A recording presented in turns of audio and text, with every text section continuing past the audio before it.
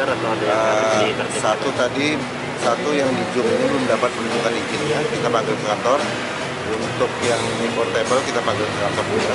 Itu izin apa itu kita uh, titik berat ke miras ya. Miras ya.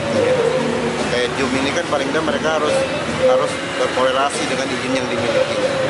Memiliki izin miras harus sesuai dengan izin HO izin gangguan Ah, ini kan menjelang tahun baru juga Bang. Ya. Kalau nanti masih belum selesai izin, apakah tahun baru tetap boleh beroperasi?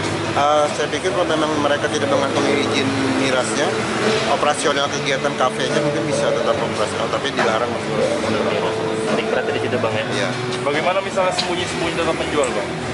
kalau kayak gitu ya resiko tanggung mereka. Ini kalau, kalau kita dapat itu kita akan tidak pedas, kita sita banget.